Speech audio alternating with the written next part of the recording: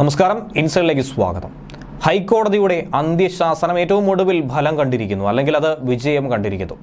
ഹൈക്കോടതിയുടെ വിമർശനത്തിന് പിന്നാലെയാണ് ഇപ്പോൾ പോപ്പുലർ ഫ്രണ്ട് പ്രവർത്തകർക്കെതിരായിട്ടുള്ള ജപ്തി നടപടികൾ സംസ്ഥാന സർക്കാർ കൂടുതൽ വേഗത്തിലാക്കിയിരിക്കുന്നത് അല്ലെങ്കിൽ നടപടി കടുപ്പിച്ചിരിക്കുന്നത് ഇത്രയും ദിവസം മന്ദഗതിയിലായിരുന്ന. അല്ലെങ്കിൽ ഒരു ഇഴച്ചിൽ മട്ടിൽ മുന്നോട്ട് പോയിക്കൊണ്ടിരുന്ന പ്രവർത്തനങ്ങളാണ് നിമിഷ നേരം കൊണ്ട് കേവലം ഇരുപത്തിനാല് മണിക്കൂറിനുള്ളിൽ തന്നെ പൂർത്തീകരിക്കാനായി സാധിക്കുന്നത്. സംസ്ഥാനത്ത് വിവിധ ജില്ലകളിൽ പി എഫ് ഐ പ്രവർത്തകരുടെ വസ്തുവകകൾ കണ്ടുകെട്ടാനായി സംസ്ഥാന സർക്കാർ തുടങ്ങിയിരിക്കുന്നു.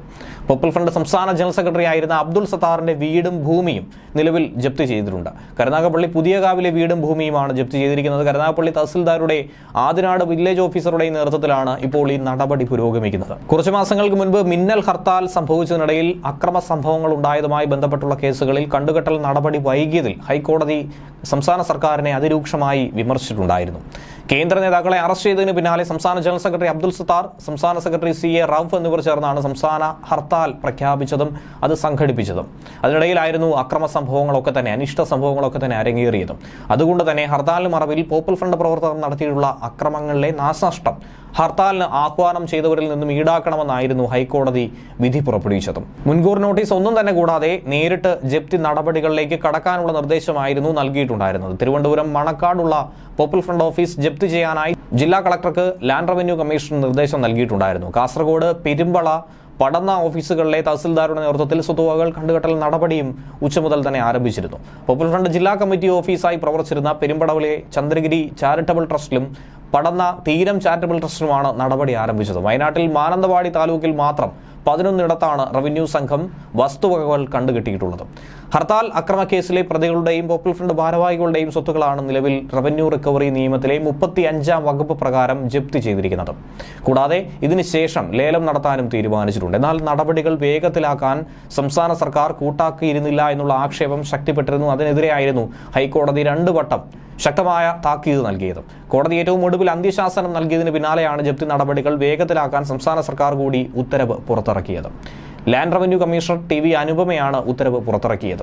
നാളെ വൈകുന്നേരം അഞ്ചു മണിക്ക് മുൻപ് ജപ്തി നടപടികൾ സ്വീകരിച്ച് റിപ്പോർട്ട് സമർപ്പിക്കാനാണ് ലാൻഡ് റവന്യൂ കമ്മീഷൻ ജില്ലാ കളക്ടർമാരോട് നിലവിൽ നിർദ്ദേശിച്ചിരിക്കുന്നത്. ഏതൊക്കെ നേതാക്കളുടെ സ്വത്തുക്കളാണ് ജപ്തി ചെയ്തത് എന്നുള്ള കൃത്യമായ വിവരമായിരിക്കണം ഈ റിപ്പോർട്ടിൽ സമർപ്പിക്കേണ്ടത്. സ്വത്ത് കണ്ടുകെട്ടാനുള്ള ഉത്തരവ് നടപ്പിലാക്കാൻ സർക്കാർ വീണ്ടും സമയം ചോദിച്ചിട്ടുണ്ടായിരുന്നു. ഇത് തന്നെയാണ് കോടതിയെ അങ്ങേയറ്റം ചൊടിപ്പിച്ചതും പിന്നാലെ വിമർശനത്തിന് കാരണമായതും. നടപടികൾ വൈകിയതിന് ആഭ്യന്തര സെക്രട്ടറി ഏറ്റവും ഒടുവിൽ ഹൈക്കോടതിയിൽ നേരിട്ട് ഹാജരായി നിരുപാധിക മാപ്പപേക്ഷിച്ചതും കേരളം സാക്ഷ്യം വഹിച്ചതായിരുന്നു. ഹർത്താൽ അക്രമങ്ങളിൽ അഞ്ച് കോടി ഇരുപത് ലക്ഷം രൂപയുടെ നഷ്ടപരിഹാരം ഈടാക്കാനും അല്ലാത്ത പക്ഷം നേതാക്കളുടെ സ്വത്തുക്കൾ കണ്ടുകെട്ടാനുമായിരുന്നു കഴിഞ്ഞ വർഷം സെപ്റ്റംബർ ഇരുപത്തി ഒൻപതിന് ഹൈക്കോടതി പുറപ്പെടുവിച്ച ഇടക്കാല ഉത്തരവ്. ഇതനുസരിച്ചുകൊണ്ട് നടപടികൾ മുന്നോട്ട് കൊണ്ടുപോകാൻ സംസ്ഥാന സർക്കാരിനോട് ആവശ്യപ്പെട്ടിരുന്നു. പക്ഷേ ഇതാണ് ഇഴഞ്ഞു നീങ്ങിയത്. പോപ്പുലർ ഫ്രണ്ടുകാരിൽ നിന്നും റവന്യൂ റിക്കവറിക്ക് ആറ് മാസം കൂടി നീട്ടിത്തരണമെന്ന് സംസ്ഥാന സർക്കാർ ഒരു ആവശ്യം മുന്നോട്ട് വെച്ചിരുന്നത്. അത് നിരസിച്ചുകൊണ്ടായിരുന്നു കോടതി വളരെ വേഗത്തിൽ നടപടിക്രമങ്ങൾ പൂർത്തീകരിക്കണമെന്ന് അന്ത്യശാസനം കൂടി നൽകിയത്. നടപടികൾ വൈകുന്നതിൽ ആഭ്യന്തര വകുപ്പ് അഡീഷണൽ ചീഫ് സെക്രട്ടറി നേരിട്ട് ഹാജരായി മാപ്പ് മാപ്പപേക്ഷിച്ചുവെങ്കിൽ പോലും സംസ്ഥാന സർക്കാരിന് ഇത് ഏറ്റവും വലിയ തിരിച്ചടിയായി തന്നെയാണ് രേഖപ്പെടുത്തുന്നത് ആഭ്യന്തര വകുപ്പിൽ നിന്നും പേരുവിവരം ലഭിക്കുന്നതനുസരിച്ചുകൊണ്ടാണ് കളക്ടർമാർ ജപ്തി നടപടികളിലേക്ക് കടക്കുന്നത്. അല്ലെങ്കിൽ അങ്ങനെ അവർക്ക് കടക്കാൻ സാധിക്കൂ. ഇത്രയും ദിവസം ആഭ്യന്തര വകുപ്പ് അറിഞ്ഞുകൊണ്ട് തന്നെ ഇത് വൈകിപ്പിച്ചു എന്നുള്ള ആരോപണം കൂടി ഇപ്പോൾ ശക്തമാവുകയാണ്. ജപ്തി ചെയ്യാനുള്ള സ്ഥാപന ജംഗമ വസ്തുക്കളുടെ ജില്ല തിരിച്ചുള്ള റിപ്പോർട്ടും അപേക്ഷയും ആഭ്യന്തര വകുപ്പ് ഇന്നലെ വരെ നൽകിയിട്ടുണ്ടായിരുന്നില്ല. പക്ഷേ കോടതി താക്കീത് നൽകിയതിന് പിന്നാലെയാണ് ഈ റിപ്പോർട്ട് മുന്നോട്ട് നീങ്ങിയത്. തിങ്കളാഴ്ച റിപ്പോർട്ട് നൽകേണ്ട സാഹചര്യം പരിഗണിച്ചുകൊണ്ട് ആഭ്യന്തര വകുപ്പും നടപടികൾ വേഗത്തിലാക്കിയിട്ടുണ്ട്. ഓൺലൈനായിട്ടാണ് റിപ്പോർട്ടും അപേക്ഷയും കൈമാറാറുള്ളത്. പോപ്പുലർ ഫ്രണ്ട് ഭാരവാഹികളുടെ വീട് വാഹനം മറ്റു സ്ഥാപനങ്ങൾ ബാങ്ക് അക്കൗണ്ടുകൾ തുടങ്ങി ഏത് തരത്തിലുള്ള സ്ഥാപന വ്യവസ്ഥകളും ജപ്തി ചെയ്യാനുള്ള അധികാരമാണ് ജില്ലാ കളക്ടർമാരിൽ നിക്ഷിപ്തമായിട്ടുള്ളത്.